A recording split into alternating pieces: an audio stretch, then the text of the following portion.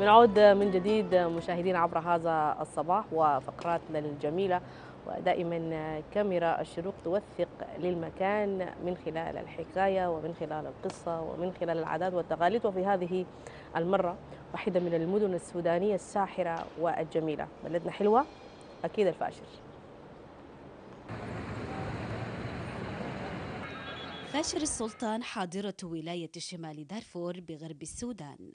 واحدة من أعرق المدن السودانية تضرب بجذورها في عمق التأريخ إذ تعود نشأتها إلى أكثر من خمسة قرون.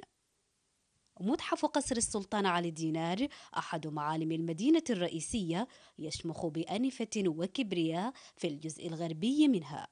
وترجع هذه التسمية إلى السلطان علي دينار آخر سلاطين مملكة الفور التي حكمت الجزء الغربي من السودان لأكثر من سبعة قرون. وقد أمر السلطان علي دينار في العام 1911 ببناء قصر خاص به. يتألف القصر من طابقين ولم يستعمل لأغراض السكن بل كانت توضع فيه الهدايا والغنائم القيمة التي ترد إلى السلطان بجانب تسيير قافلة الحجيج وموكب المحمل لكسوة الكعبة الشريفة من أمام باحته الشرقية. حيث يقرع هذان النحاسان لجمع الناس لوداع موكب المحمل. وقد حول القصر إلى متحف في العام 1977 بقرار من رئيس الجمهورية الأسبق جعفر محمد نميري حيث قسم الطابق الأول إلى أربع قاعات رئيسية. الأولى تضم آثارا لحضارة ما قبل التاريخ وحضارة المجموعة الثالثة وحضارة كرما. أما القاعة الثانية فتضم عهدي الدولة المصرية الوسطى والحديثة ورسومات من مملكة نبتة وتميمة على شكل إله وبعض أدوات الزينة التي كانت تتزين بها إحدى الملكات في عصر مملكة مروي. ورسم للسيدة مريم العذراء يرمز إلى عهد المسيحية.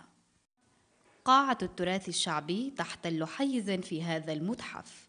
وتوضح بعض العادات والتقاليد والموروثات الشعبية التي تمارس في بعض المناسبات كما بها حجاب من الجلد لعلاج آلام الحلق آنذاك.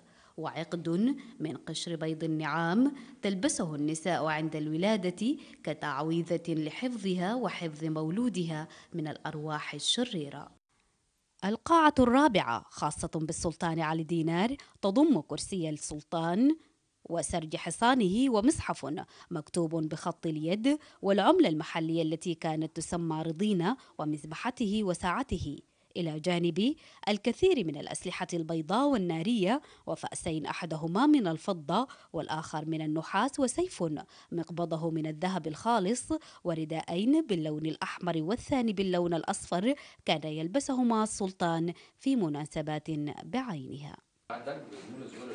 لا يخلو يوم من الزوار في هذا المكان سواء كانوا سودانيين أم وافدين من الخارج حيث يقوم المرشد بشرح كل ما يتعلق بمقتنيات المتحف استخدمينه كميكروفون في عدن اسمه مبايع لكن كميكروفون لما آه. عايز أيوة، يدعو الناس ينفخوه الناس. بعمل صوت بيجمع الناس بعد ده بيقول لهم كلام اللي هو داري يقوله. ولاستكشاف المزيد عن المتحف صعدنا إلى الطابق الثاني عبر هذا السلم الحجري ذي الجوانب الخشبية لنجده خال من الحياة. تسكن جنباته أصداء الماضي التليد ويملأ حجراته عبق التاريخ الحافل بالبطولات. فترجع بك الذاكرة إلى القرن الماضي لاستدعاء ذلكم العهد الذي أضحى مادة تدرس لكل أبناء السودان.